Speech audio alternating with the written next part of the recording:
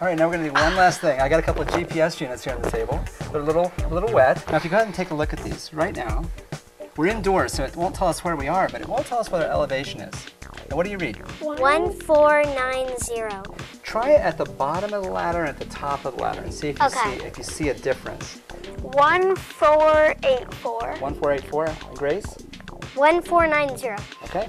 Let's go up to the top of the ladder and see what we get. 1485. One four eight five. 1491. One four nine one. So it says you're up at a higher elevation now. You know how it measures that?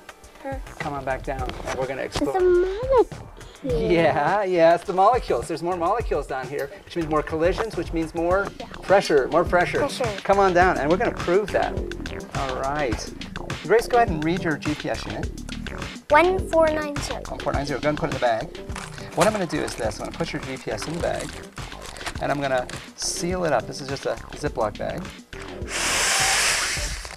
Blow some air in there. All right, now I'm going to squeeze the bag. And when I do that, I'm going to make extra pressure Pressure. inside. And what will that do to the elevation? If there's extra It'll pressure, go is it going to think, it, think it's No, higher no. or lower? Lower. Okay, it was lot 1490, right? If I squeeze it, what is it down to? 968. 968. That's like down in Kansas. Oh yeah, oh yeah. And so it's squeezing, making more pressure, and then it thinks the elevation's going down. Uh-oh, and when the bag breaks, now it thinks we're back in Colorado. How about if you wanted to go to high elevations? What would we have to do to the pressure? You have to suck it out. Take it out. Oh, we have something that can do that. Right? Oh. Right. What's the elevation?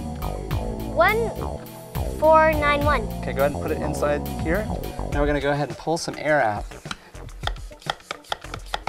It says 77.